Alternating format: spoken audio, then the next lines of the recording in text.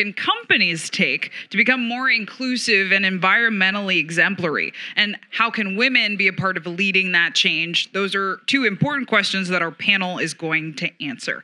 I'm very pleased to introduce Cynthia Illouz. She's the CEO of the Women's Voices and CHARI-T Media. And the panelists of her session will be introduced by her. Let's give a round of applause. Thank you.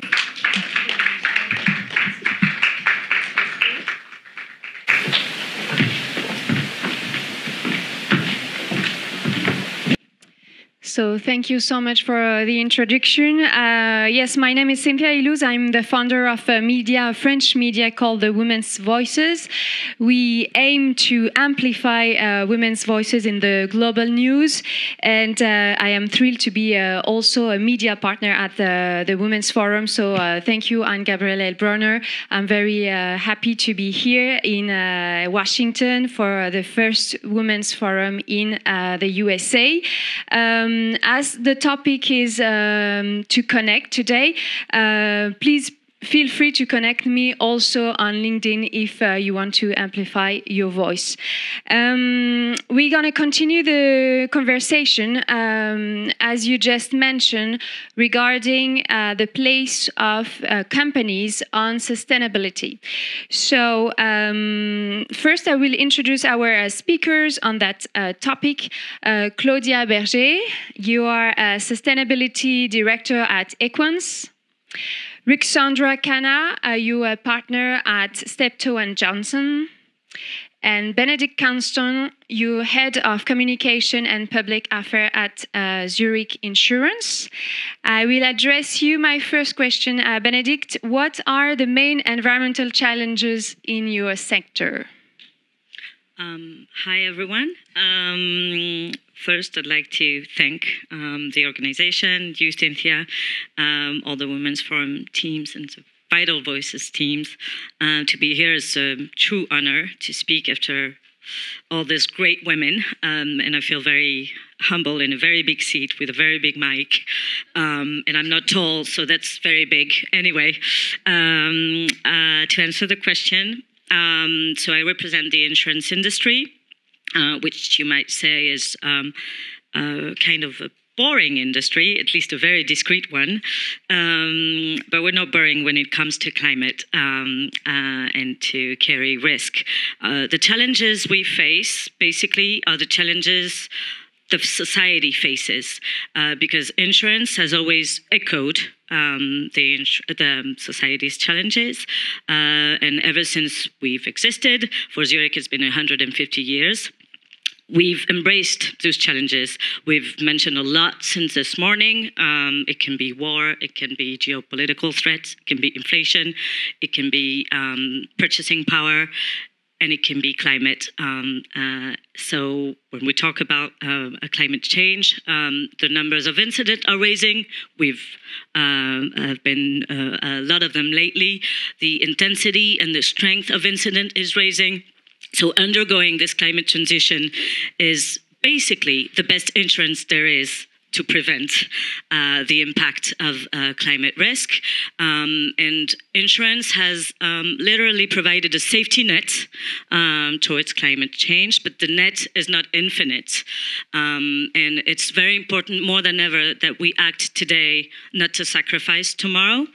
Um, meaning that we raise awareness, that's our mission every day, prevention, to build the resilience of the organization we support and um, uh, help uh, in our everyday mission. Claudia, you have um, also uh, big challenges in your industry. Yes, I'm, uh, I was hearing you, and uh, we, we definitely share uh, similar challenges. And as you, I'd like to thank the organization for inviting us. It's been a great day so far.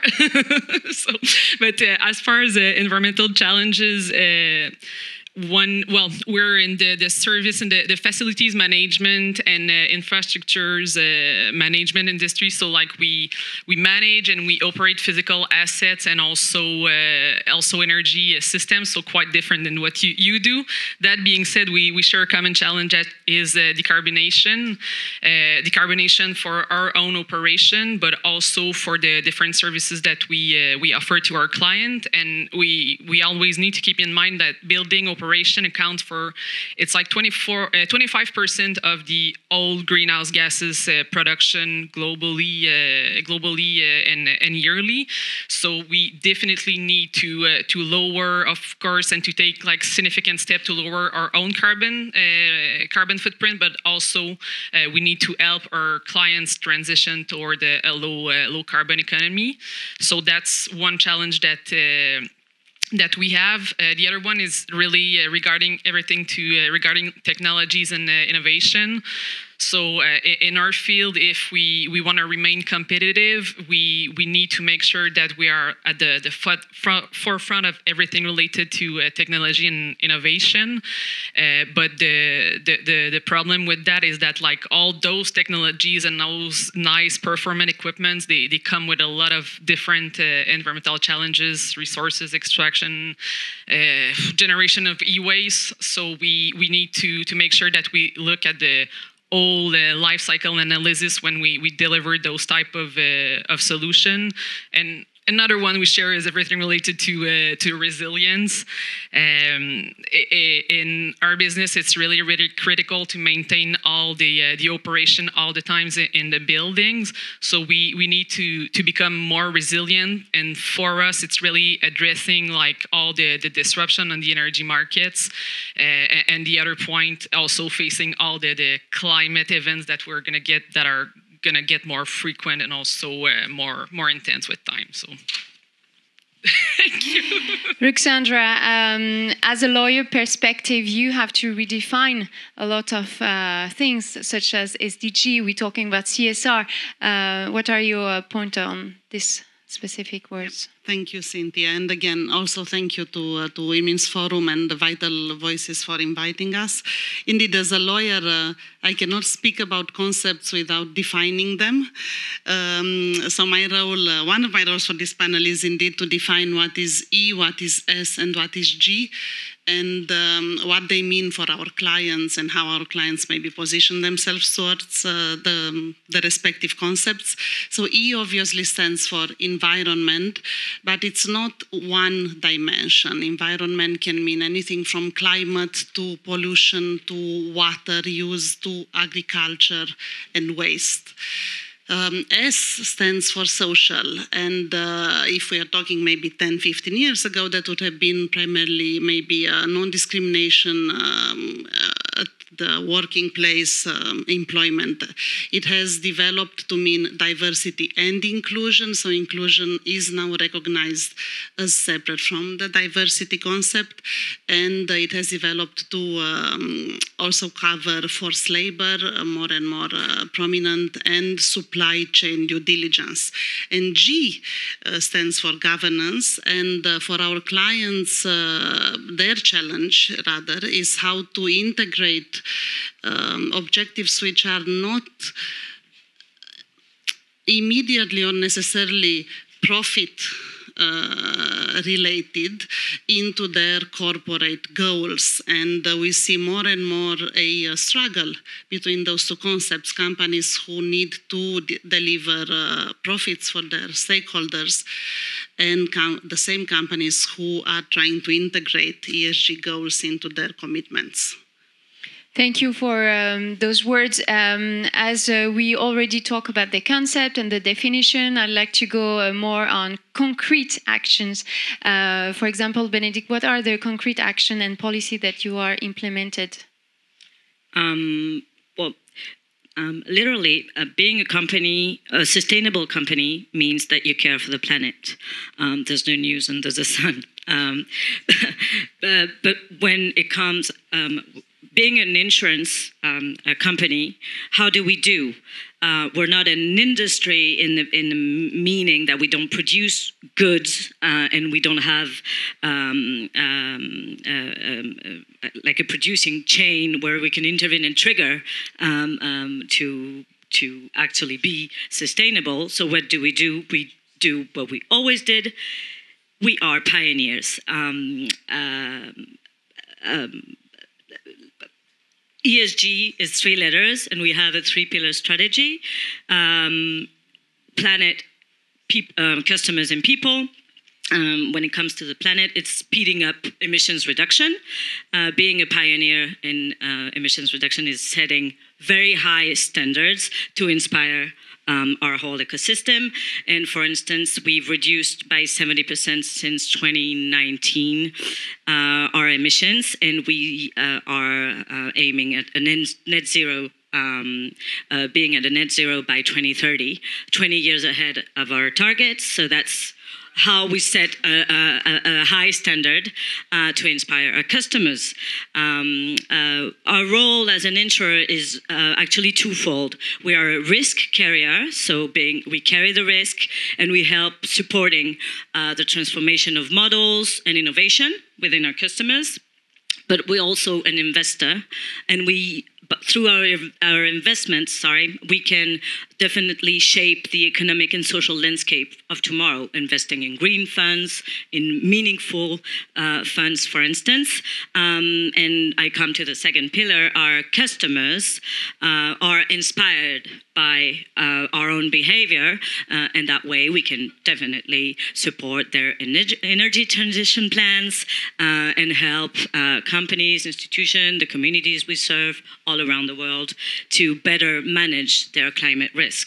And I come to people, last but not least, it's the center of everything. Uh, like you said, Roxana, there, um, um, ESG is not only about climate, it's about how we interact with our environment. And we as a company put people at the center of everything. Once again, without our people, we cannot be an insurer company. Um, and it's the way we treat our employees, we grow with them, we make their talents grow.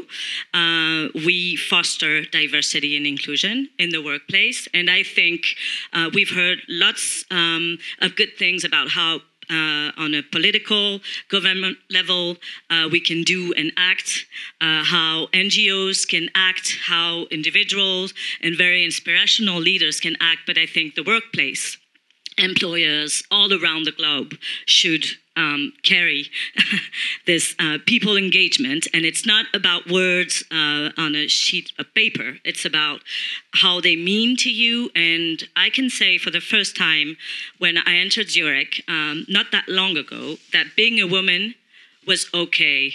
Um, I was not a trophy.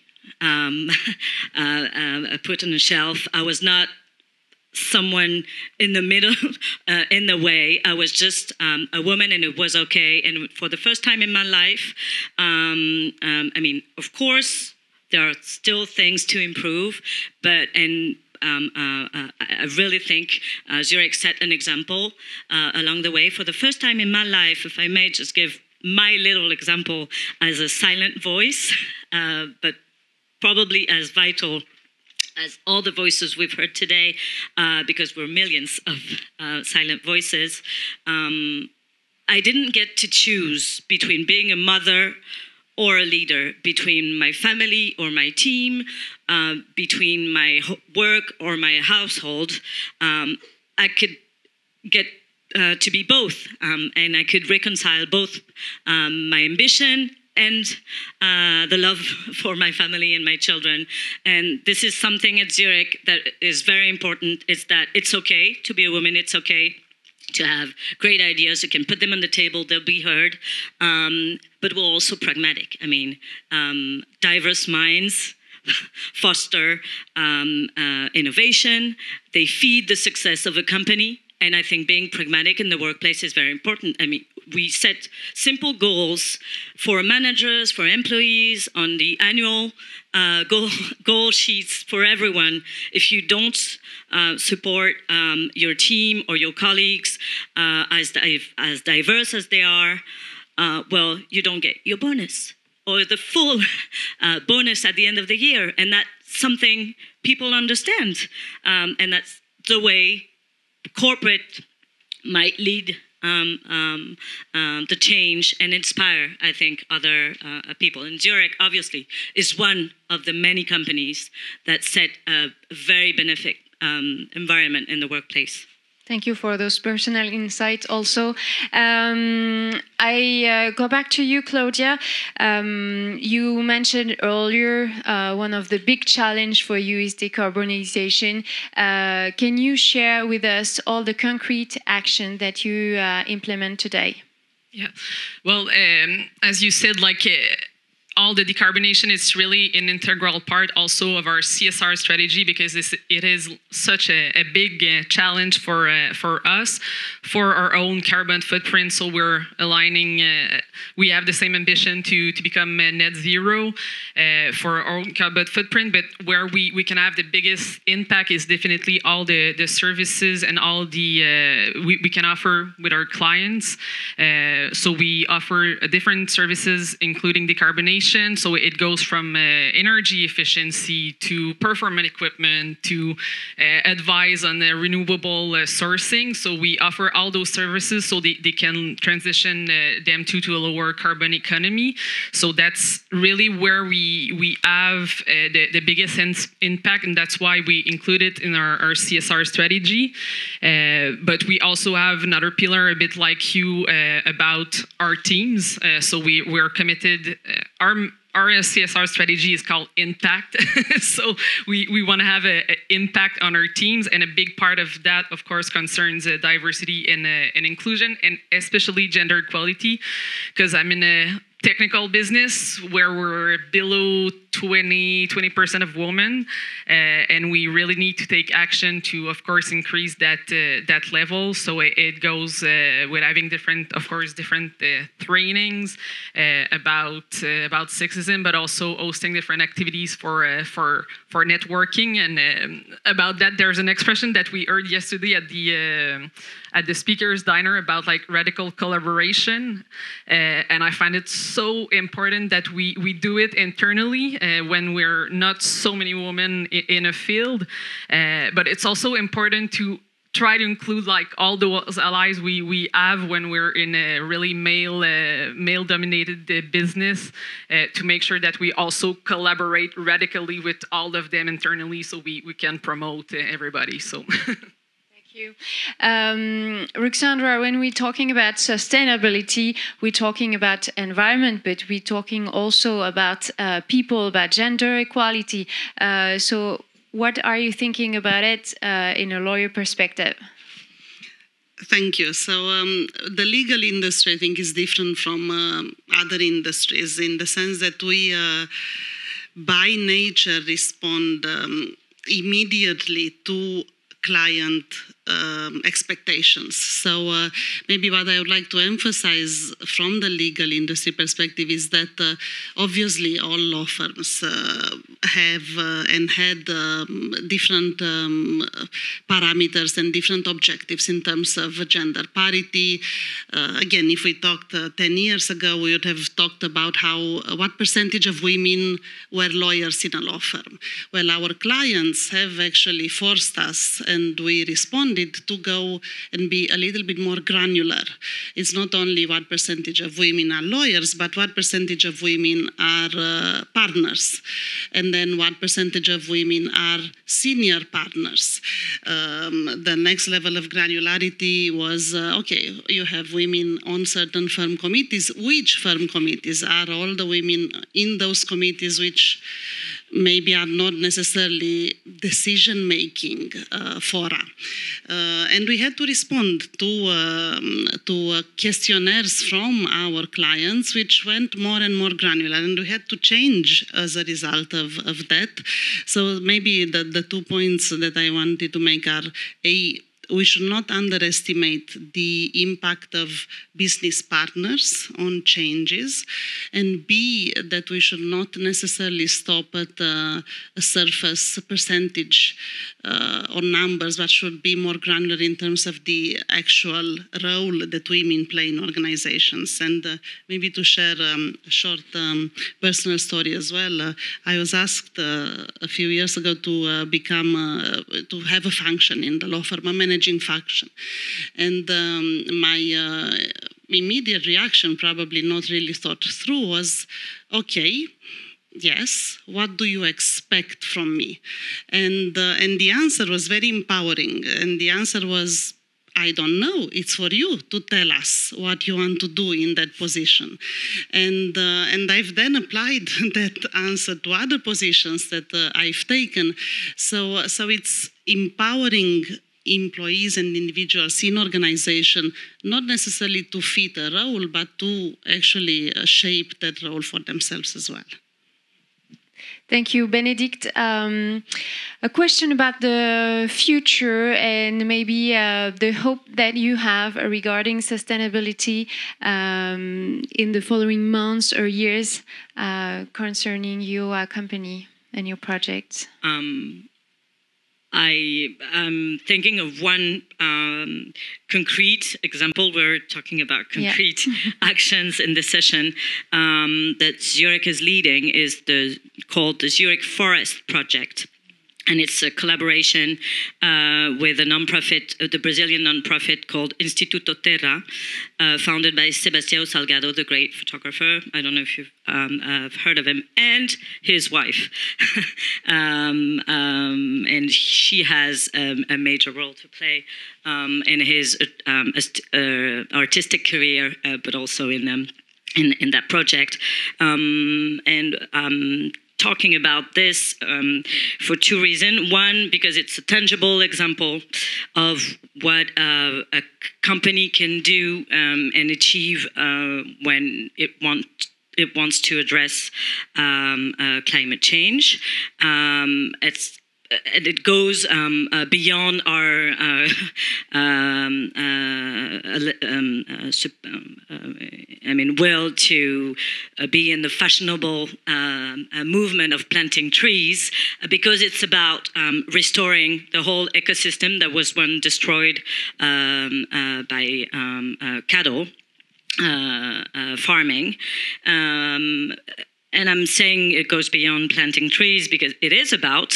Uh, it started in 2020, and we've committed to plant a million trees. Um, uh, but you can definitely throw a million seeds in the ground if you don't care about the seeds they just won't grow uh, so it's about planting and caring and sebastião salgado has beautiful words about this he says that raising a tree is like raising a child and that's uh, I add my words to this. Um, this project, this collaboration uh, with Instituto Terra has fantastic, incredible results both on the ground, literally, because uh, we've restored, uh, it's been three years now, 75 million square feet of forest land. Um, and I mean, the, um, not only the trees are back, but the animals, and it's about giving back to the communities and to humanity because rainforest is about um, uh, climate um, uh, equilibrium uh, all around the planet. And I'm saying that, um, and this is my word for it, where literally Zurich is mothering, uh, like women could do about um, mothering the forest, mothering the trees to make a change um, in that forest. And it might appear at, on the other side of the world, but it has concrete changes um, in our everyday life because the rain uh, drops more uh, because the heat is controlled uh, and because the habitat, the whole habitat is restored. So uh, we're mothering uh, the forest, and I think it was a beautiful image, and it's only the beginning. Uh, because it's working so well. our whole ecosystem, our business partners are resonating very fantastically with this project. All Zurich employees all around the world are obviously very proud uh, and it makes um, everyone uh, uh, be a part of a concrete action that's actually changing the face of the earth. So we hope it's going to spread. Yeah. that what gives me hope today. At okay, least. thank you. um, Ruxandra, um, what are your expectations, your hopes um, for for this sustainability uh, policy? So I'm um, I'm very lucky to be uh, in in the firm where uh, I currently am, Steptoe and Johnson, because we uh, put a lot of emphasis on pro bono work by lawyers, uh, and uh, again, pro bono is generally. Um, accepted as a need, but if it's not enforced and if it's not supported from uh, management, it's going to be uh, something that every lawyer knows they have to do, but they will not give it uh, real attention. And uh, in our firm, we have um, a percentage of our time which has to be dedicated to pro bono projects and not meeting that objective then has direct uh, consequences on the progression and on the compensation, obviously.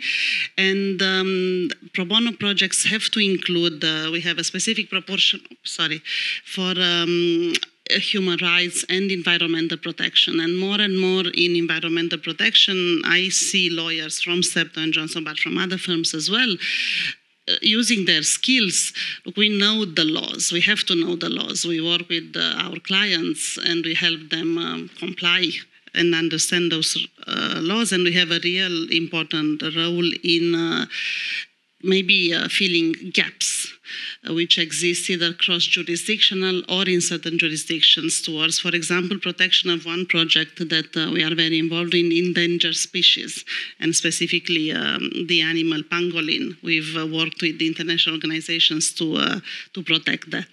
So, so I think again it's a combination. It's a combination of um, management uh, imposition, very specifically defined goals, and uh, and people will actually cooperate and we'll be glad to do that.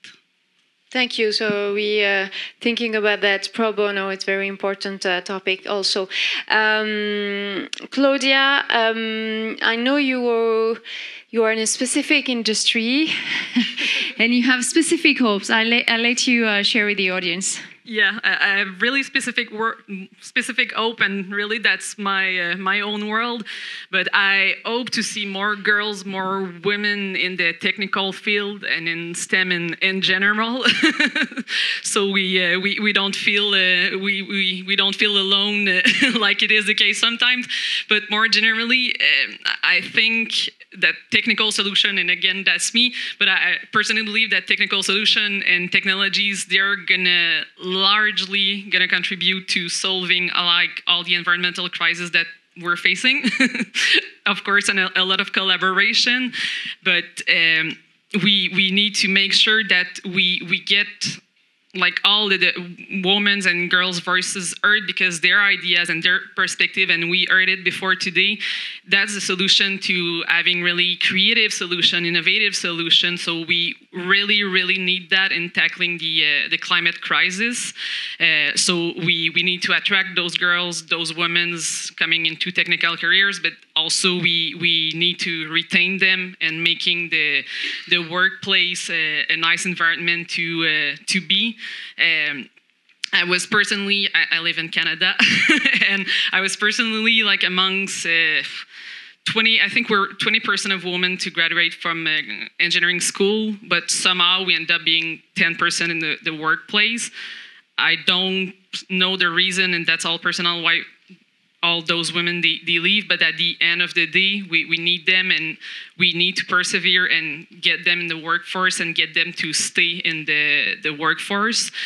So and well my, my hope if I, I were to resume it and it's also personal is that my my own daughter gets the same opportunities get the same chances that my son would get if she she wants to pursue a career in uh, in STEM and uh, in technical fields so Thank you so much. We have a few more minutes if we uh, do have question in the audience. Yes. Uh, can we get a mic for the lady here? Thank you.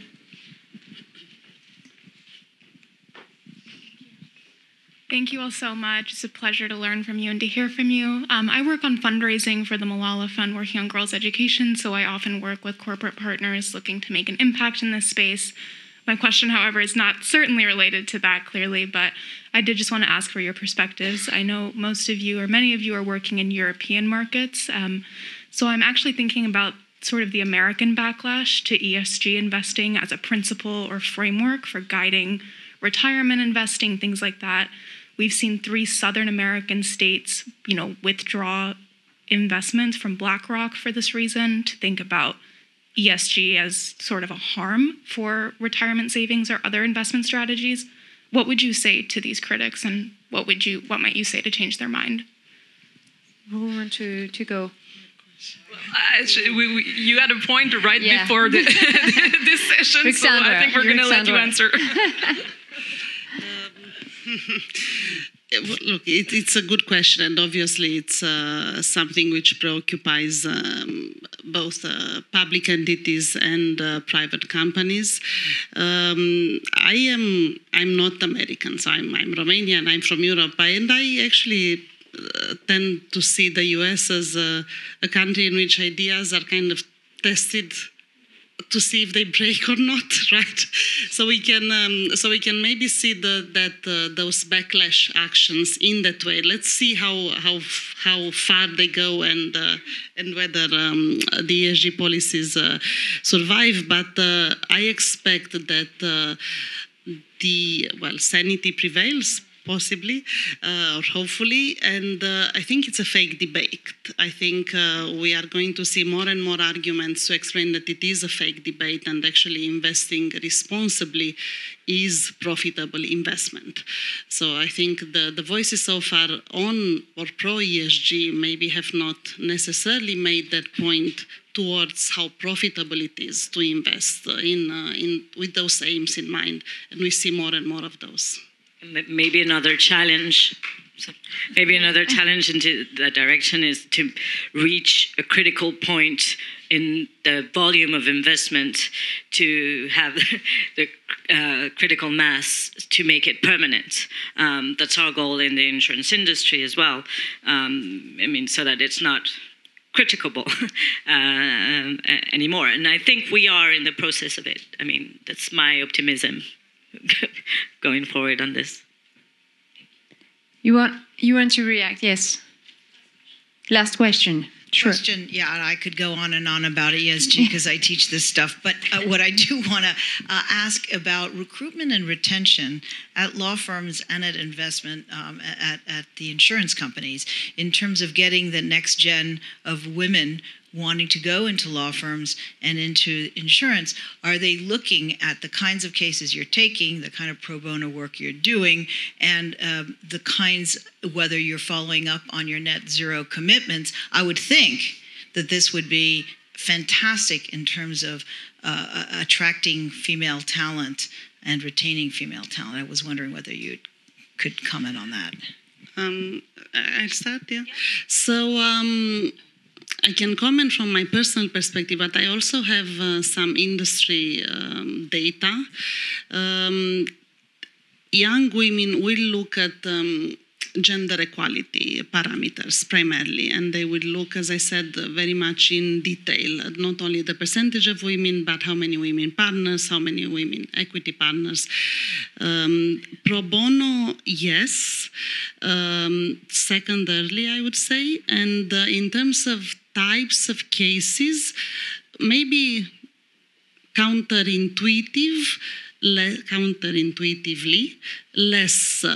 Um, we see uh, industry data um, actually showing us that young lawyers will look very much just at the legal issues, so they are very excited just about the laws and not necessarily yet about certain types of, uh, of laws or practices to get in. But, but I think the first uh, parameter that they would be looking at is uh, gender equality and what policies are applied. And again, in STEP, though, we see that that's the first question that comes from female attorneys in particular, and we have the parameters to show just how committed the firm is.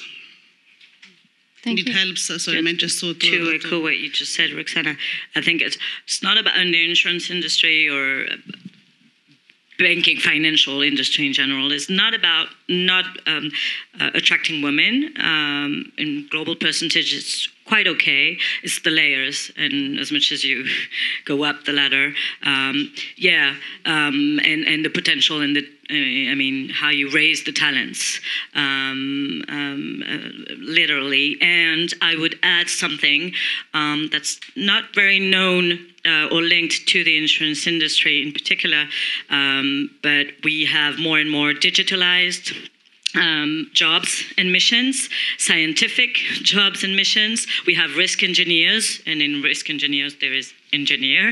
Um, and a very big problem um, when facing education, and Gabrielle uh, said the word this morning, uh, and the goal of the Women's Forum for 2023 about education. And I think scientific education for women is a one of the biggest challenge we face. I'm French, and in France, for instance, um, um, women in math are just two opposite words, uh, words, and it's not just possible. Uh, and not conceivable today. So we have to uh, promote uh, scientific education more and more to young girls, uh, attract them to math so that they can choose um, eventually uh, the career they want. Thank you so much. You can give them a round round of applause. Thank you.